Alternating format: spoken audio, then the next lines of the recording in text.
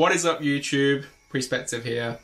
Today I've got a couple of Apple products for you. Um, I've got the new iPhone 12 Pro, the MagSafe wallet, and also, not new, but a new addition to my collection, the Nike Pride watch strap, which I think is beautiful. So I hope you enjoy this quick whistle stop tour of these products. Let me know what you think. Cheers. What we've got from right to left is the new iPhone, the MagSafe wallet, and a replacement strap that I've got for my Apple Watch. It's the Nike Pride Edition one, so I'm looking forward to opening that because I've still got the original on there. So I'll start off with the iPhone. I think that's the key bit of kit here. So I actually got it on release day, but my first attempt at making the video didn't go too well. And I've been using it since, and I've got to say that it was slightly underwhelming. I actually jumped from an XS to this phone, and what was the most enticing thing was the fact that it's got the side edges akin to the iPhone 5 design. The ability to actually grip it, um, grip the 5 at least anyway, uh, was a key factor, and I really, really miss having that. Although I would say that the actual sides here, they're not chamfered, so it doesn't have that um, edge to grip it. Um, but still, it's a lot better than the curved edges for me. As you can see, I've stuck on a little sticker here. So yeah, it's still way better in, in design for that for me anyway, the, the physical sort of grip. Uh, but I do have to say that compared to the other models, it is a massive fingerprint magnet. Um, I bought a case for it, just a one from Amazon, um, and I've been keeping it in there since because a to protect it, but obviously I'm not one that likes to see fingerprints over my shiny devices, I guess, and I'm sure that plenty of you are the same. So yeah, uh, physically, you know, it's a beautiful device. Apple does not let you down in any sort of way. Um, in, and especially the back, I would say that is, is quite deceiving. Sometimes it looks a little white, sometimes it looks that, that gold that they have it on the website on. Um, and then in some, well, I, I call it champagne gold because I feel as though it has that champagne finish. And the side, I don't have my XS anymore. I had the gold version of that, but um, when I was comparing it side to side, um, I'll include a little clip of it anyway, but when I was comparing it side to side, I preferred the gold of the XS to be honest. It was a lot deeper, seemed to be a little richer,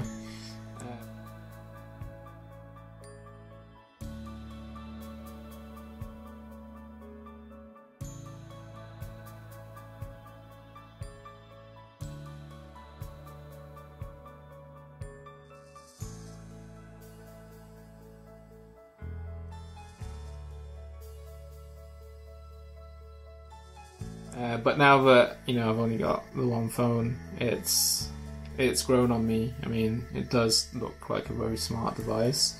Paying so much money for it, you'd expect it to have a sort of luxury element to it. So can't really complain about that. And you know, look how sort of flush and clean everything is.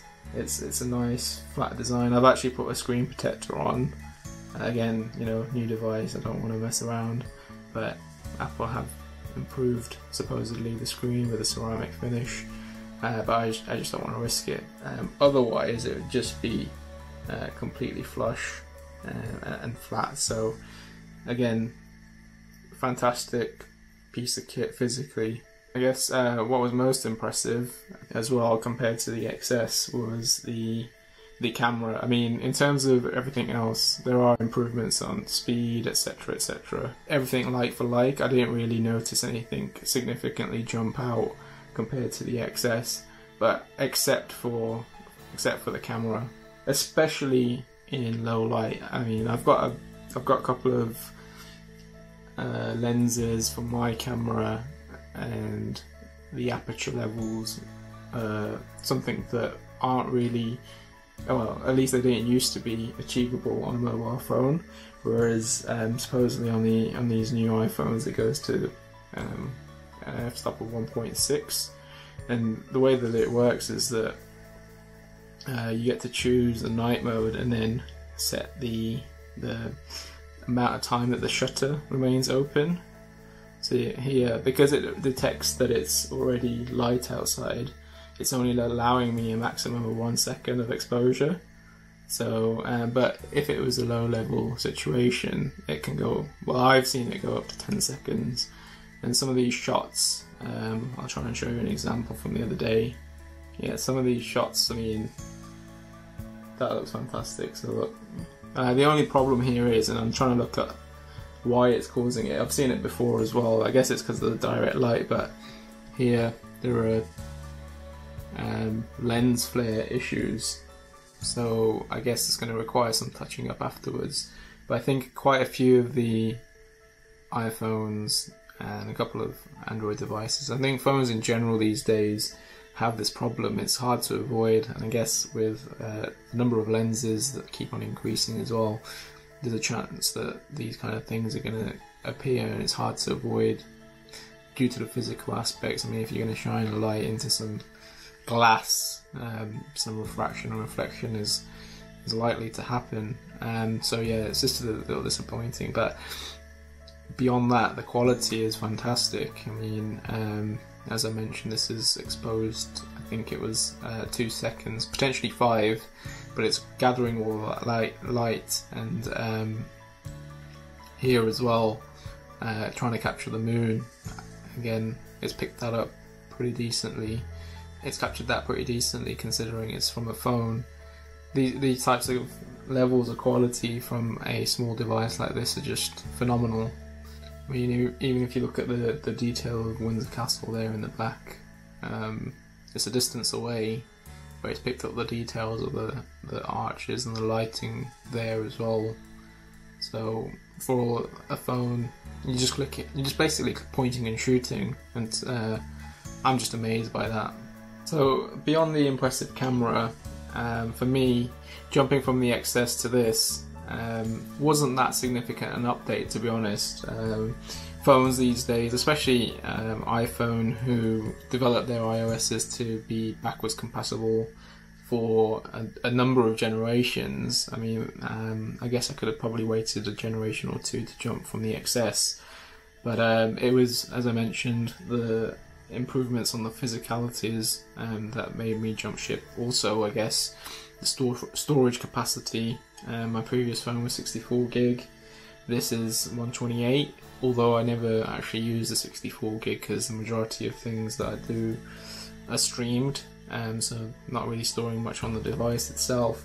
I guess the camera was also a factor in my decision, but primarily it was because of the the upgrade to the physical design and going back and I guess um, a nod to the iPhone 5 design some may say why, if, if the physicality was the reason that you jumped to this version and yet you're going to put a case on it, which makes it slightly curved anyway, what was the point? And it's, it's true. I mean, it makes me double think my um, choice and potentially uh, buyer's remorse in that sense.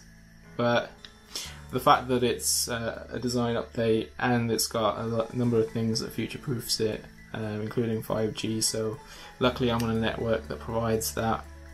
Not necessarily where I live, but uh, in bigger cities.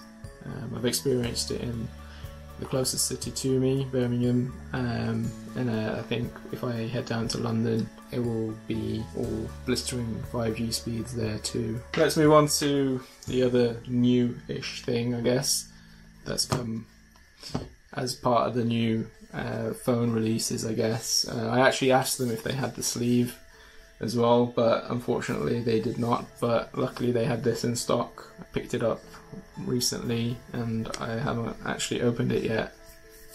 I'm a bit disappointed I've scoffed the box there, but there you go. So yeah, let's have a look.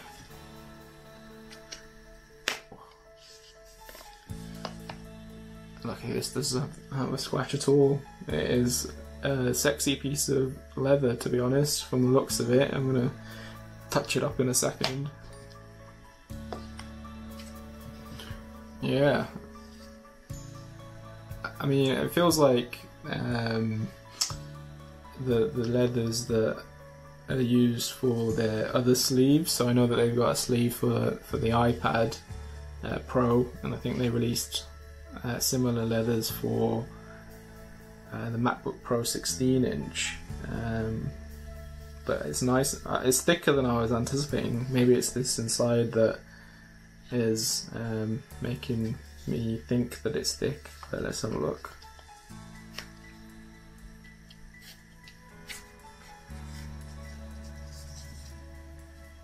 That's just uh, yeah, just Apple's address on there, and it's just got a bit of information of how to store your card. Surprise, surprise. I mean, I don't think it's rocket science, but yeah, um, yeah, it actually is a lot sturdier than I was anticipating. I thought it might be flimsy. I'm happy about that. That is some smooth. Le- that is some very nice leather. Does it warrant sixty pounds? I don't know.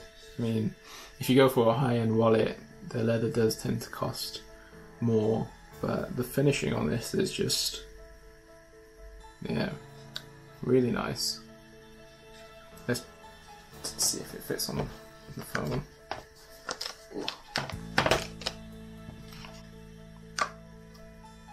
Oh yeah, straight away it aligned up to where it needed to align to.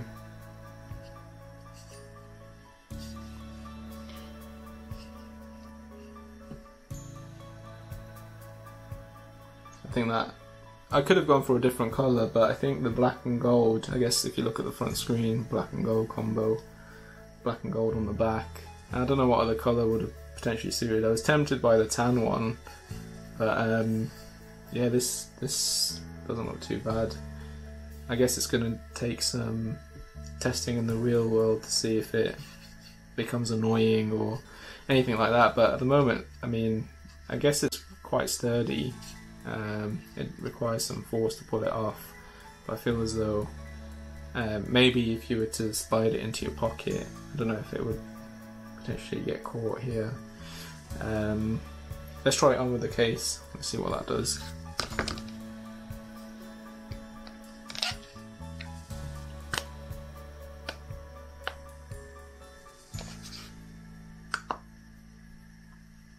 Yeah, it's not surprising in the sense that there's an extra layer in between, so the grip um, isn't as as as much, but it's still sticking on.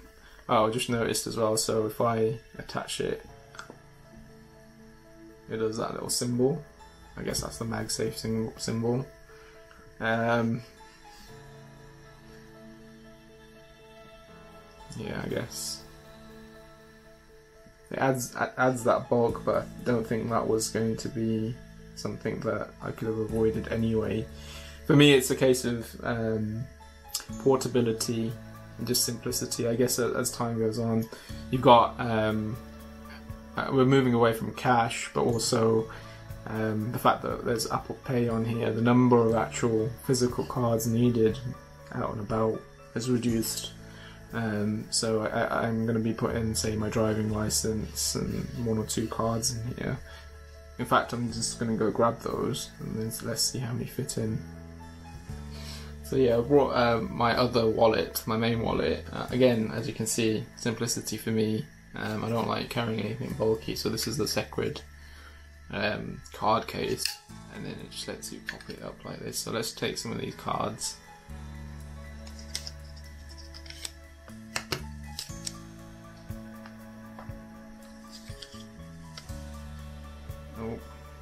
Think it's going to fit three, so yeah. Um, so that fit three cards quite quite easily. I think that that's probably the maximum we're going to get there, to be honest. Um, I don't know if cards vary in size, but without sort of overstuffing it, I guess maybe over time the leather would loosen up a little bit, but um, as it stands, three three is the max. So yeah, that's how it looks. I mean, it feels fantastic. I mean, if you are a fan of leather products, you're not going to go wrong here. Um, it feels really nice. but again, it depends on whether you think it's uh,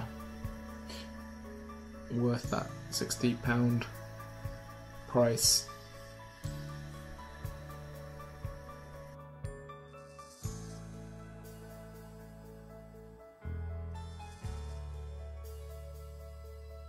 So moving on to the last piece of this puzzle, uh, the Apple Watch Pride Edition Nike strap. Um, I've been eyeing this up for a very long time. Um, I just, I guess, couldn't face um, this price tag. I guess for for a strap. I don't know if you can see that, but um, I just uh, took the plunge. Uh, I think I waited long enough for it, so it's uh, it's something that I am looking forward to seeing in real life. Let's see. Let's get this unboxed.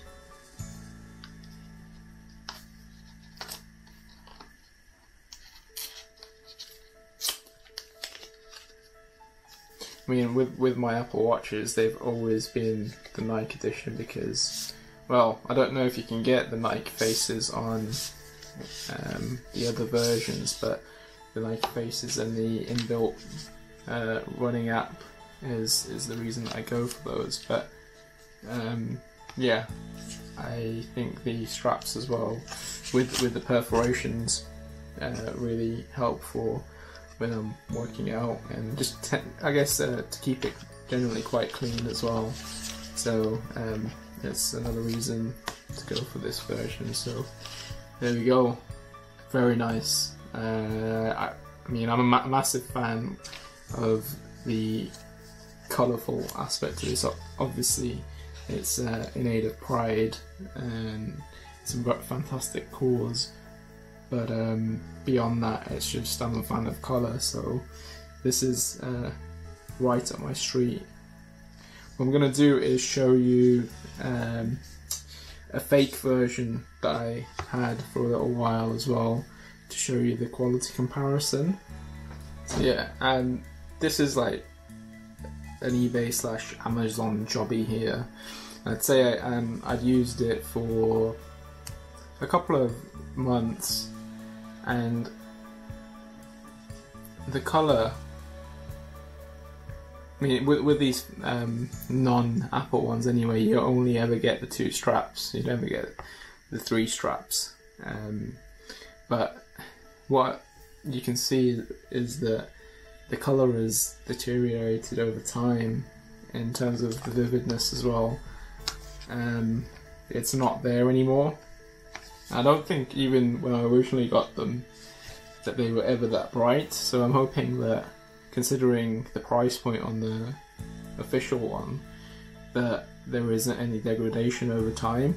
And I guess uh, the testament here is well, there's no color on the original strap, but uh, the quality um, still remains well, it holds up really well.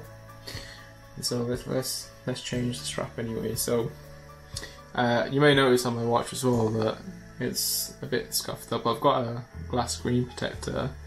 Um, it's something I'm a bit worried about taking it fully off because it's leaving like sort of remnant behind. So if anybody knows about how to get this off cleanly, then that would be very much appreciated. Um, so I can get a replacement. But at the moment, I'm keeping it on so that it remains protected anyway. So let's change it over.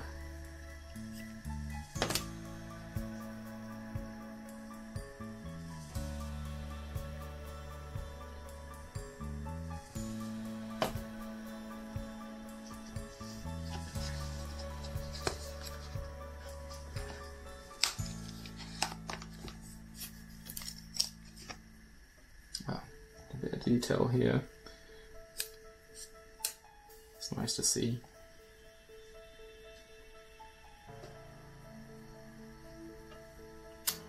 Apple plus Nike what a combo, two massive American companies.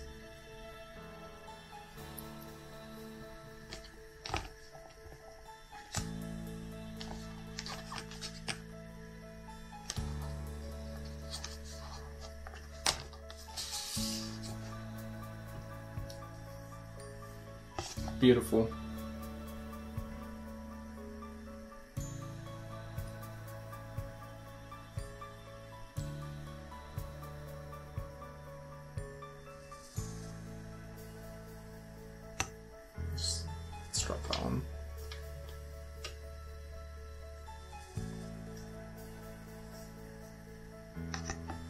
how it looks on the wrist.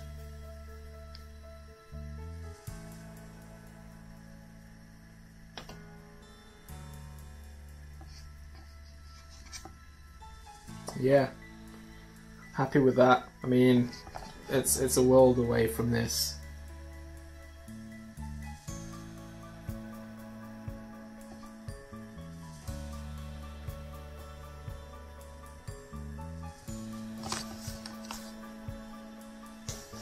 So there we go. Uh, hope you enjoyed uh, that journey with me. Um, you can see that I have a kind of loyalty to Apple in that sense, but I guess that's been there for a number of years. Um, their products just um, just do it really. No, no, no pun intended, I guess. But um, I think I'm moving away from the ecosystem anytime soon, so it was just a natural upgrade for me. Oops. If you've got any comments, queries, questions, or even answers, because I think I asked a question as well, uh, just reach out. Uh, I'd be happy to respond or get a response anyway. But that's all for now. Cheers for watching.